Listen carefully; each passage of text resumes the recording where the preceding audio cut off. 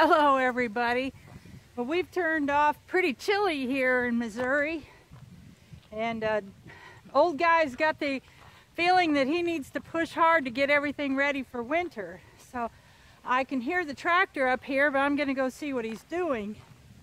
Because as soon as he's finished doing that, I wanna drag him off to find some persimmons. We've had a couple of good freezes, and so I think the persimmons ought to be about right to eat.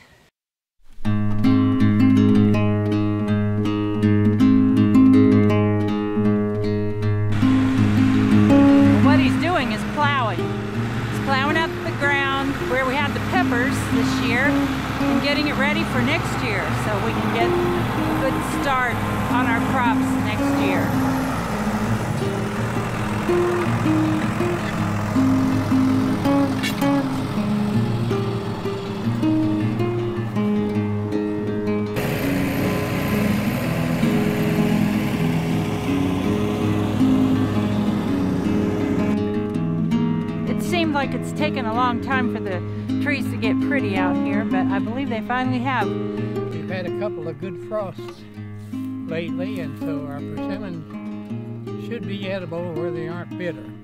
So we're going to go back and give them a try. Possums haven't beat, beat us to them. Looks like we have to tromp through the weeds to get there.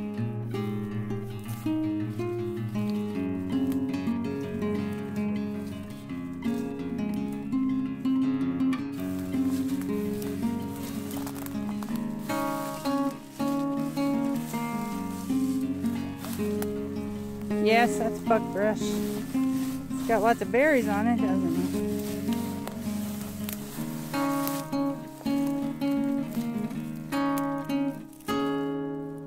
Got caught by a rose bush.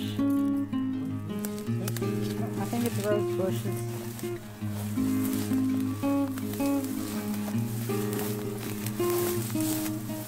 fall on your face in the rose bushes right over there is our usual persimmon picking place, but from this distance I'm not seeing them. So we're gonna go to a different place where I know there are some. But before we go looking at the other tree, let's take a little hike in the woods. Look at this. That's a tree that fell over, but the base of it looks like it's been on fire. Huh. Kind of interesting.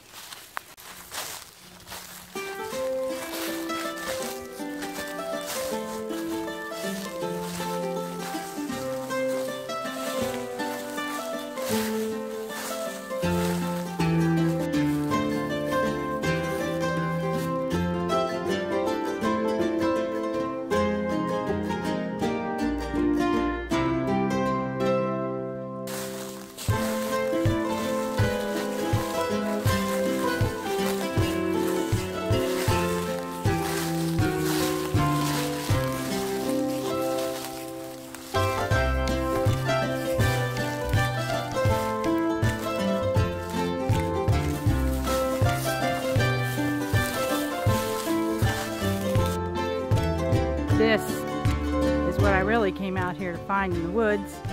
We live in the woods that's made up mostly of oak trees, all different kinds of oak trees. But out in here we have found a little cluster of maple trees, only like, well right now I can see at least four. Wanted to see what it looked like in the fall.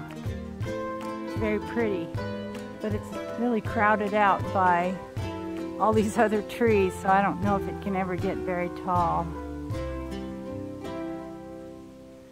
I really like maples. They're one of my favorite kind of trees, and we don't have very many of them on our property. well, that little trip to the back part of the property didn't work out very well because we didn't find any persimmons in the place that we usually do. Find quite a few, but as I said, I I do know where some are. They're up by our house. I just thought it might be fun to go back there. And we did, in fact, get a nice little tour of the back part of the property. But now we're going to go up to the other tree and taste some persimmons. So we came back to the house so that we can go check out this persimmon tree that's right over here at the uh, end of the pond dam.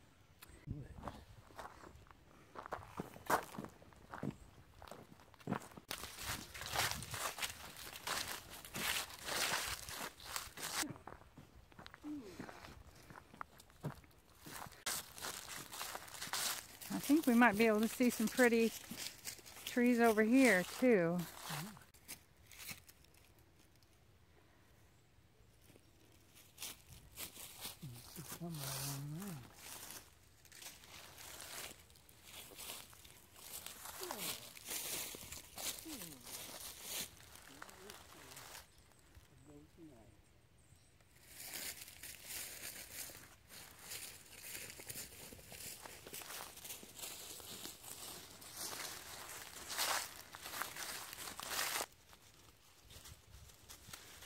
Ladies first.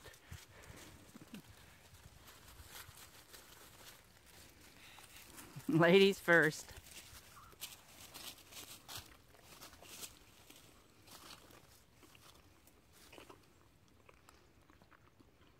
Very good.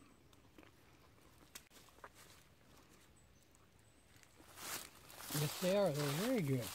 Got a little bit of bitterness right at the end. If you ate this persimmon right here, you would get a bitter, horrible coating in your mouth that you can't get rid of. But see, this one is soft and squishy. So it would be a good one to pick and eat. It's fully ripe.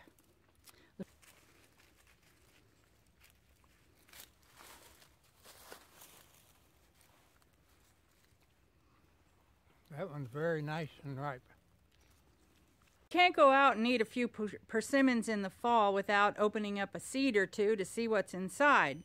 Other folklore tells us that what is inside a persimmon seed lets us know what the winter's going to be like. So when I opened it up, I got this.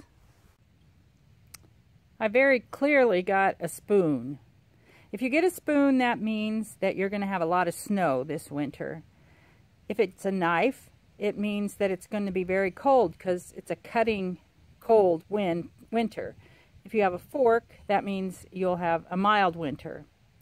We've been we've been kind of thinking we might have a lot of snow this year, just I guess kind of a gut feeling, and so the persimmon seed agrees with us. I always like going out and eating a few persimmons in the fall.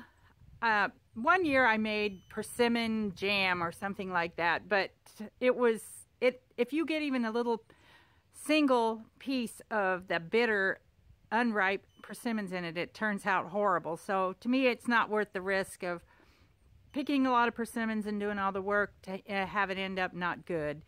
Uh, so I just go out into the woods where we go and find some persimmons and eat a few of them and feel satisfied until. Thank you for joining us and hope you enjoyed it. If you liked our channel, give us uh, a thumbs up and also subscribe. We appreciate your subscription. We enjoy reading your comments.